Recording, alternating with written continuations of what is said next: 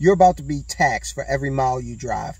Deep within the infrastructure bill, there is a provision to tax you for every single mile, to basically connect your odometer to a cash register for the government. So when you see those miles tick over mile by mile, you know that that's dollars coming out of your pocket. All you realtors, truck drivers, Uber drivers, uh, you know, Lyft, Uber Eats, everybody that drives, okay, even passenger cars. You don't have to be in business for this to hit you. But if you are in business, at least you can pass it on to your customers, and businesses will, which will further raise prices, okay? You were lied to, told that you know, you wouldn't be seeing any tax increases, that that was only for the rich. But the reality is the rich have businesses most often, and those businesses have a ton of tax benefits that come along with them. So you can't get the money that they need, trillions and trillions of dollars. You can't get that just from the rich. You could confiscate every dime of the Bezos and the Musk and the Buffetts of the world. You could take every single dime out of their pocket right now. And you could run this government for maybe six months, if that. So they're going to get the money from the largest available pot of money, which is you, the middle class. You who do not have that corporate shield to provide you with tax benefits. They even, uh, you know, a lot of people demonize, demonize the tax benefit by calling it a loophole. It's not a loophole. It's a provision of the law, okay? And these provisions, you can use them too if you have a proper business structure uh, and you have a, you know, a real business that is uh, providing value to the marketplace. But I digress. Let's get into what's going on here uh, with this particular provision that's going to take even more money out of your pocket, which is going to result in higher prices. Listen, go ahead, subscribe. If you have subscribed, I thank you. Like the video. If you do not like this content, emphasize it by hitting the thumbs down twice. All right, MCE crew, let's get into it. Under the auspices of the infrastructure bill, the federal government is instituting a pilot program that will eventually result in taxing you for every single mile that you drive. All right, despite what President Biden said, we're looking at a tax on driving, okay? Every mile you drive. That means you realtor, you Uber driver, you Mr. Truck driver, uh, or just, you know, person that chills out all day and maybe makes a couple of runs to Starbucks in that car. Also, think you're going to escape it by using public transportation? Absolutely not. That tax will be included in the public transportation fee that you pay. So look for that to go up as well. The $1.2 trillion bipartisan, infrastructure accord would institute a multi-year national motor vehicle per mile user fee pilot program that, without future intervention from the White House, could potentially violate one of Joe Biden's previously stated red lines. Top White House officials emphatically stated for months that paying for the infrastructure investments by indexing gas taxes to inflation or instituting a new electric vehicle mileage fee were hard red lines for the president on the grounds that they would raise taxes on people earning less than 400 grand per year. So you thought you were going to buy that EV and escape all of these taxation schemes? Not hardly. And I will say this, look, uh, the government does maintain the roads and the bridges, and that's fine.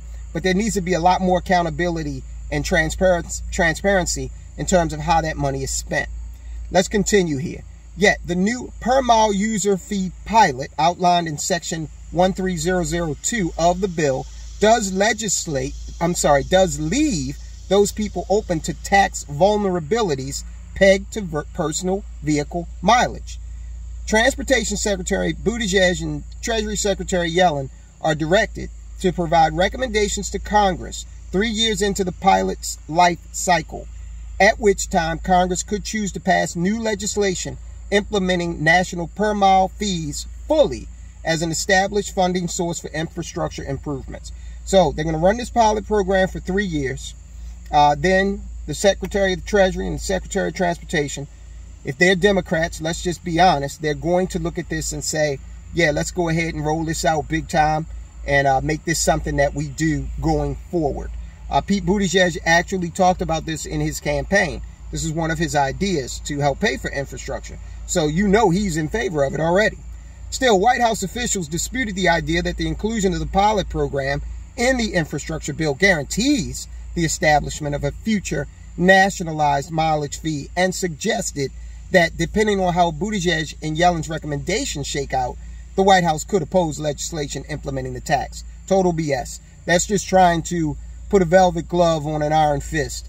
Uh, they're going to go ahead with this, as I stated just a moment ago. Yellen, uh, Buttigieg was already talking about it, and Yellen, she was out there talking about uh, taxing unrealized capital gains. So you know she'd be in favor of this. The program itself directs Buttigieg and Yellen to, quote, establish on an annual basis per mile user fees for, get this, passenger motor vehicles, like the one you drive, light trucks, like that pickup the guy drives that does your landscaping, he's to have to pass this on to you, uh, and medium and heavy duty trucks, like the tractor trailers that bring all your goods to Walmart and Target.